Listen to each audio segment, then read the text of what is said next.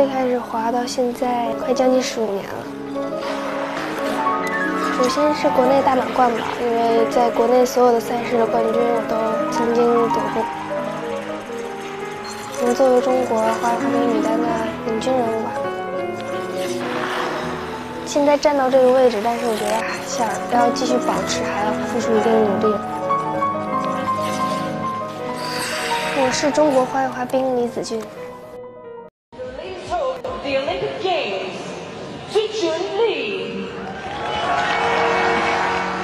李子君，一九九六年十二月出生于吉林省长春市，中国花样滑冰运动员。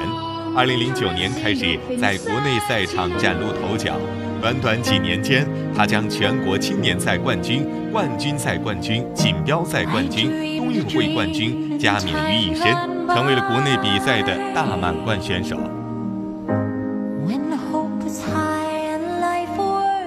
一开始看见他，我就觉得他是一个特别聪明的孩子。我跟他比的话，我不是那么全面。啊，他比较全面，反正按他这个技术能力、技术水平啊，他是绝对是，呃，别人没有跟他能比美的。一位十七岁的小朋友李子君，有请。有请。二零一四年，李子君参加湖南卫视《天天向上》节目录制，迅速成为众多花滑迷心目中的偶像。哎呦我转圈呢，就是可以在陆地上转两圈。你能转几圈？半圈。走，接下来您欣赏的难度系数零点零。这个是多少圈？一圈，才一圈。小五，小五，小五，小五两圈。来自韩国的选手思密达，现在我们为他表现的是空中转圈。哦，呀呦！接下来看你专业的两圈啊。哇，这有三圈了吧？而且他没有跳很高哎，完全就是。伴随着知名度的提升，花滑小萝莉的一举一动备受大众瞩目。然而争议也纷至沓来。Copelia or Li Zijun of China.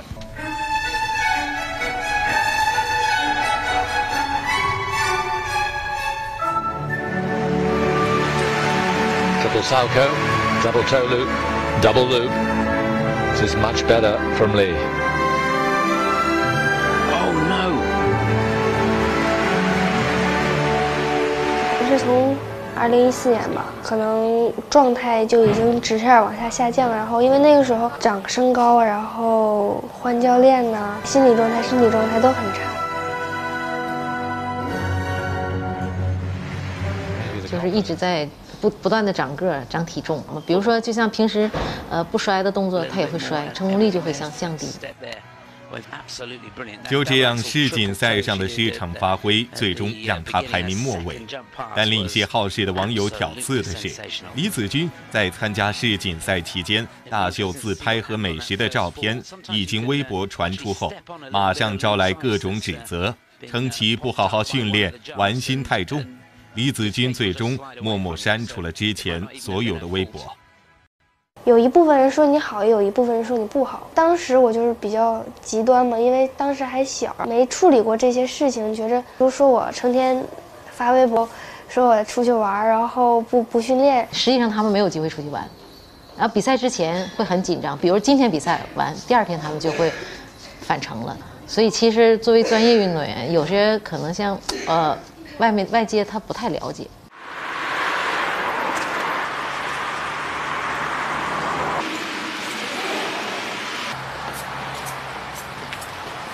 今天对于李子君来说是个特别的日子，因为二零一六年新一轮的花滑备战即将拉响。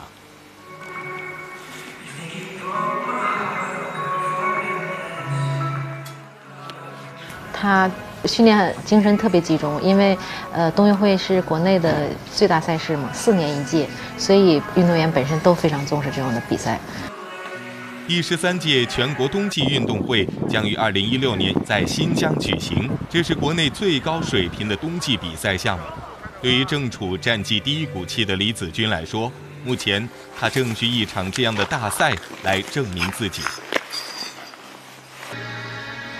可能因为这一路走的太顺利了吧，然后因为从小的时候也没遇到过什么太大的坎坷呀什么。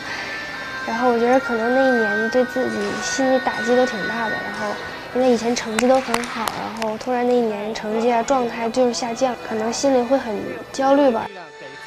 前面速度你没利用起来，你看下去就有点着急，上去还这样，你感觉呢？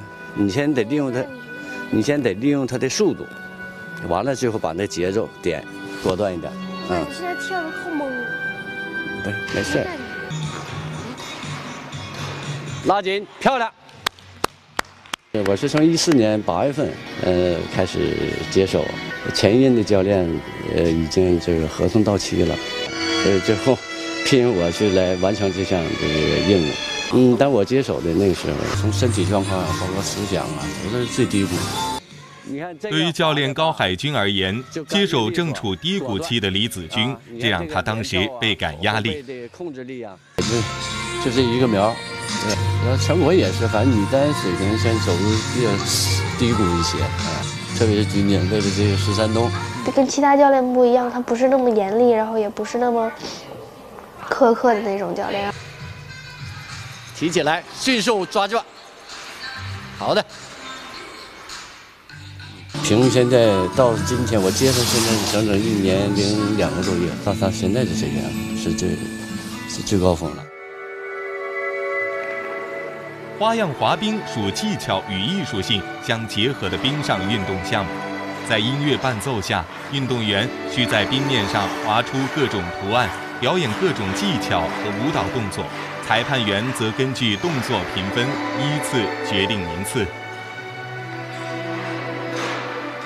后外点冰、三周连、三周跳，困难度系数大，在比赛中分值较高，因此这也成了子君每天的必修动作。现在连三的能力，原先不行，连三差周数。嗯，现在不不断的就是在在在复习这些东西，在不断的改进他这些东西。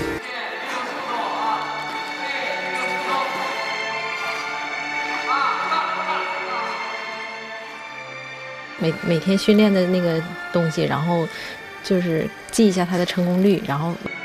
按照裁判的那种方式记，我觉得我这么多年是挺用心的。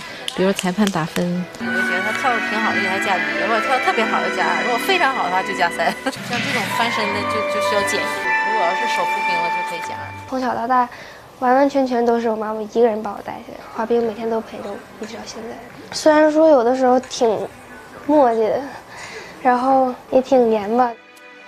自从子君走向职业花滑道路后，妈妈李春燕就辞掉了教师的工作，成为了一名陪练妈妈。从我出生开始，我就没见他上过班。我爸是属于幕后工作者，是属于赚钱养家、洗衣服做饭那种吧。最好的爱是陪伴，陪伴他一一起长大，然后一起成长，嗯，见证他每一个那个成长的那个瞬间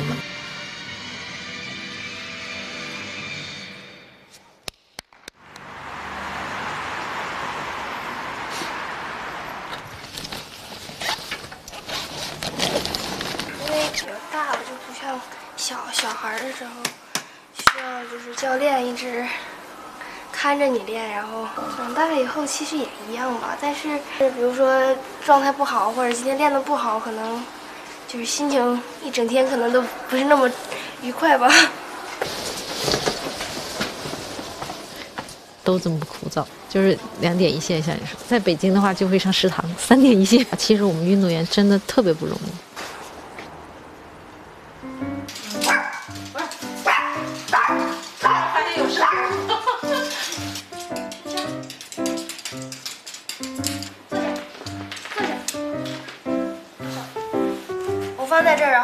我数五个数之后你可以吃啊，不可以，不行，一、二、三、四、五，吃吧。你看我手里什么都有，根本不听。过来，麦德来，过来。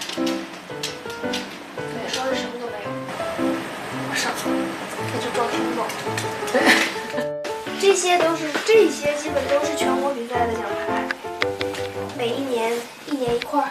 这个奖牌是我第一次参加全运会的时候得的奖牌，这个算是最深刻的吧。这是我学完滑冰以后得的第一个金牌，第一名。那你最想拿到的奖牌是什么样的？世锦赛和奥运会的奖牌吧，这个颜色的。正如这一个个金灿灿的奖牌背后，隐藏着李子君十多年职业生涯的苦和累。然而，对于子君父母来说，当初他们并没有想过让女儿学习滑冰。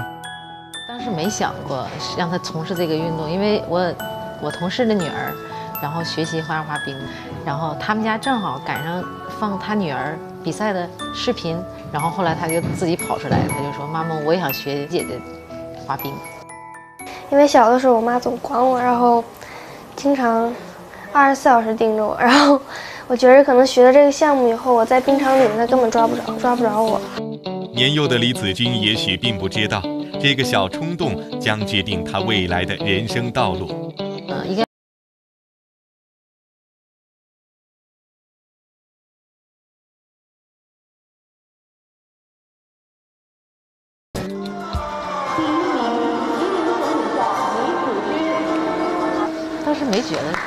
是怎么样，就觉得特开心，因为呃那时候我觉得可能是他那么小的时候第一次参加比赛吧，然后他还呃挺淡定，我觉得。二零零八年，李子君与另外两个女孩被国家队选中，送往美国，跟随李明珠教练进行为期一年的训练。经过一年的专业训练，回国后的李子君开始在国内比赛中大放异彩。小学三年级的时候。就已经拿到全国少年组冠军，第二年就是青年组冠军，后来从一零年开始，基本就是全国冠军。然而，走过花季的他，也开始经历成长的烦恼。二零一三年，由于身高和体重均明显增长，这在很大程度上影响了他动作的美感和技术的发挥。好，现在上场的就是中国选手李子君。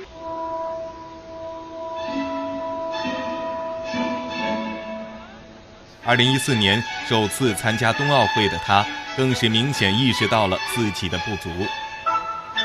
对我来说，更大的打击是从比赛成绩上和训练的状态上来决定的。其中有一年的时候，就是一三年到一四年，就是体重很难控制。为了能迅速降低体重，教练采取了一个迫不得已的办法——节食。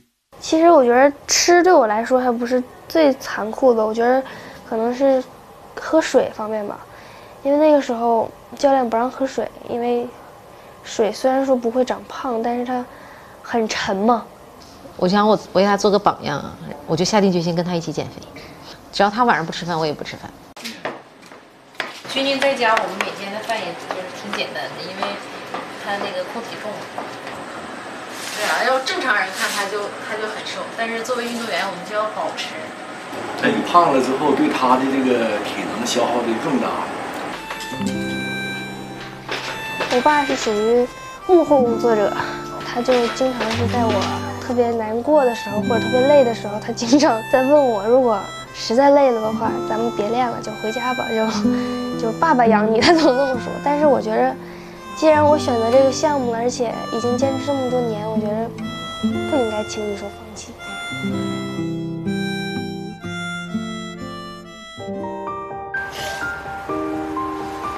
加油！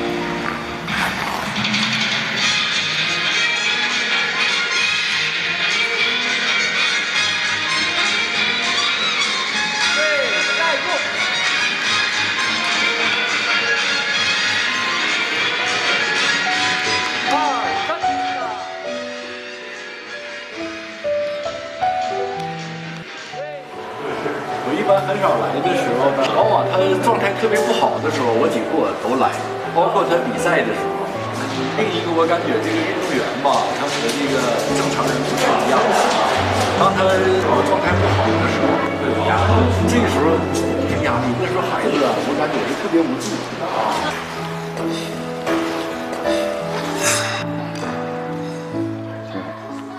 望着专心训练的女儿，平时很少来冰场的李爸爸，对于吃不饱这个问题上，说出了自己的真心话。全场的自由滑相当于这个长跑三千米啊，这个量非常大。呃，前实这就是我昨天我就说到了，吃不吃，吃多少，又要控体重，又要吃饭，然后你还得有体能。你其实它增长点体重没关系，世界冠军、奥运冠军谁都想拿到，不是你下了多少功夫，吃了多少苦就能拿得到。呃，应该说是天时地利人和各个方面吧，应该是有很多很多的因素构成。一般训练的时候，我爸爸很少去看，因为他觉得我训练太苦了。可能因为第二天我要走了嘛，然后就默默的给我加油吧。明天即将启程前往新疆参加冬运会，训练结束后，子君决定去看望下儿时的滑冰教练。Hello，刘天一。过周。我在家还剩两天了。不，咱们不是一起走吗？对呀、早上几点？啊，因为也确实挺长时间没有见面了，但是我们经常也会，呃，用微信啊、手机啊联系，就是希望他能够，嗯、放开一些，正常发挥吧，因为他的水平，嗯、已经远远超过国内的其他选手。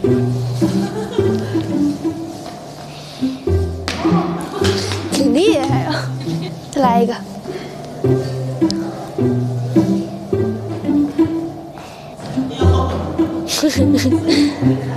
你觉得漂亮吗？你自己看看。你觉得漂亮吗？那你觉得如果要是这样的话，你觉得这样好看，还是你刚才那样做好看？使劲往上夹，使劲夹。我有个问题，嗯，我那勾手的时候老变那样。我脸红没红？呃，怎么说呢？你今天起跳的时候是不是会这样跳？嗯。那你起的时候，你就试着把这点兵往这儿点，然后你带的时候是往上带。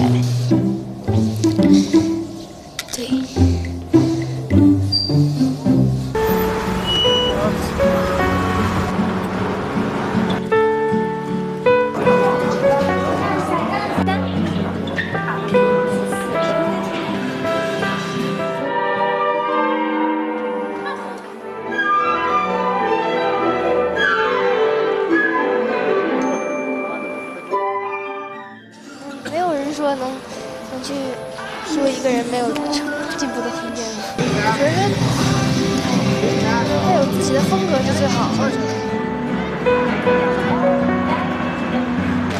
请长春市代表队李子君入场。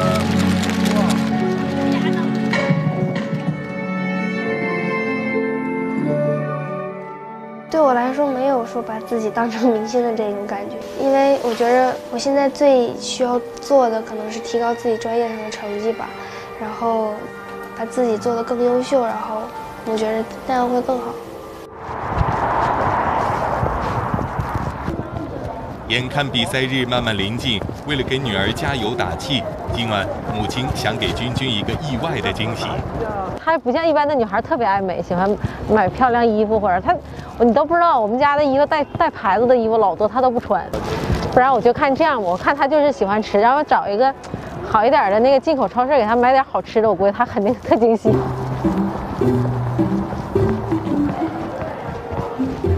呃，草莓的，还有什么呢？哪个哪个最好吃吧？销量最好的。他非常开心，肯定 他特别喜欢吃冰淇淋。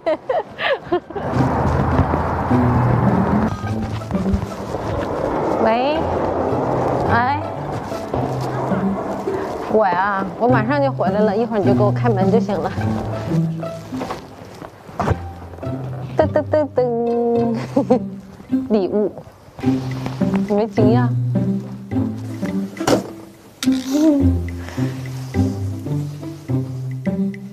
我应该表现出什么样的？拥抱一下就行了。祝你这次取得好成绩啊！奖励你一下，你最喜欢吃的，太假，是不是？过生日都没奖励我。过生日你随便啊，过生日给你奖励啥了？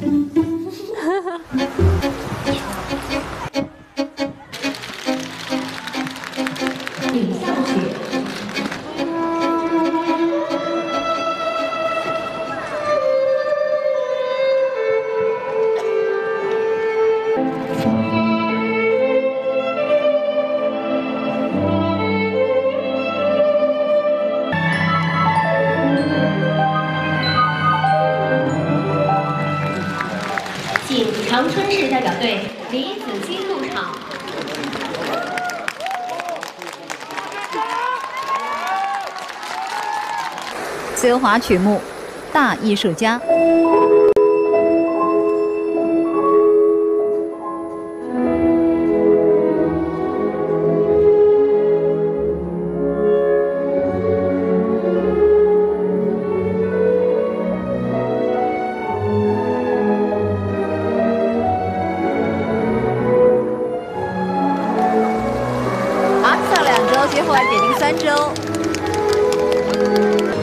比赛没有结束，凭刚才的表现，李子君金牌已经到手。随着最后一个音乐旋律的终止，李子君完美收官，最终以总分一百二十一点五六分摘得冠军。那时候我只是想去抱抱他，拥抱他一下，真的很骄傲。我觉得，就是你平时吃的再多的苦，或者你你付出再多，那那一刻都觉得特别值得。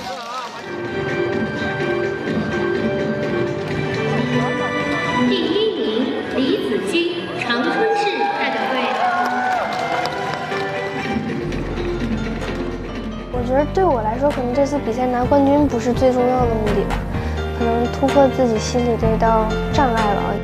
我的梦想，希望到最后的时候能够取得好成绩，争取能够达到中国女单历史最好成绩吧。感谢这么多年从小到大妈妈一直陪伴着我。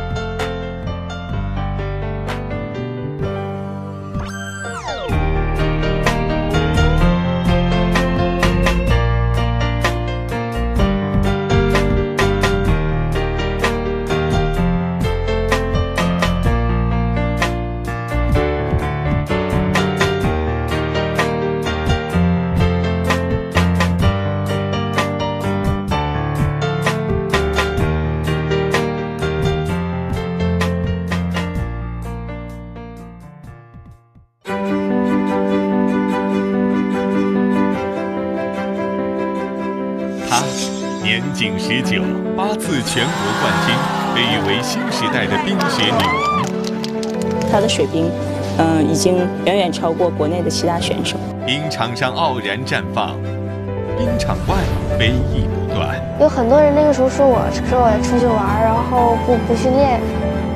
当青春期遭遇职业低谷，新赛季该如何应战？